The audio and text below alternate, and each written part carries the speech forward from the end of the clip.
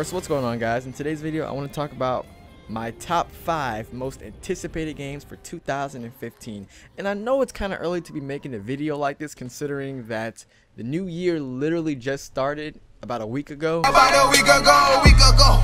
Fuck with us and then we tweaking, ho. God damn it, that keeps happening.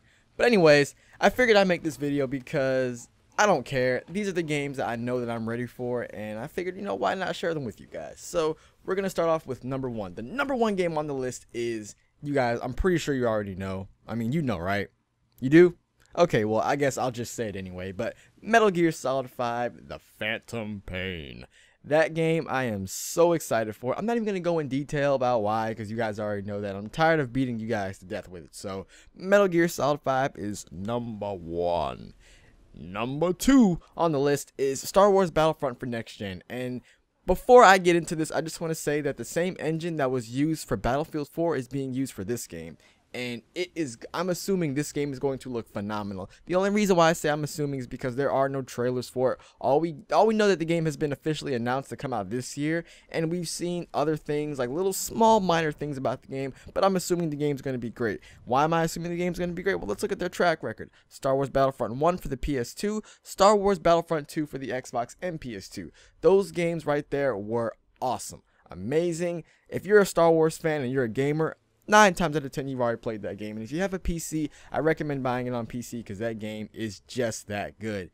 Number three on the list is batman arkham knight. Now why batman arkham knight? That game i'm pretty you know i've seen trailers i've seen here you know i've seen stuff here and there but i do believe this game is going to be amazing for the simple fact that the original creators that made Batman Arkham Asylum and Batman Arkham City are now making Arkham Knight. The same de development team did not make Arkham Origins. That's why the game, you know, I'm not going to say it was bad, but that's why the game wasn't as good as the other ones. But now we have the same developers making this game, and I believe it is going to be fantastic. I'm a huge Batman fan. I love fighting games like that, and I just, God, I can't wait. And it's supposed to be like an RPG type of game, too. So I'm really just pumped for that. Number four on the list is Bloodborne. Now, you're probably wondering, you know, I've heard about this game. It's exclusive to PS4. Why is it supposed to be so good? You know, this and that. And the reason why Bloodborne is just so crazy is because it's basically Dark Souls, but with guns. That's ultimately what this game is. And I, I personally like Dark Souls. I didn't like it at first, but I do like Dark Souls. I think it's a really challenging game and really frustrating too. Really frustrating. Yeah, if you haven't played it, I recommend it. It's really good, frustrating, but you have to you have to know you have to take your time. It's a trial and error type thing, you know. So Bloodborne is definitely on the list. Cannot wait for that game to come out. Oh man, it's gonna be great. And number five on the list is Uncharted 4. Now, this is a game that the only reason why I'm excited for it because I'm excited to be in a new I'm excited to play a new game. I'm excited to actually jump into something that's different because for those of you who don't know, I've never played Uncharted before, never played it.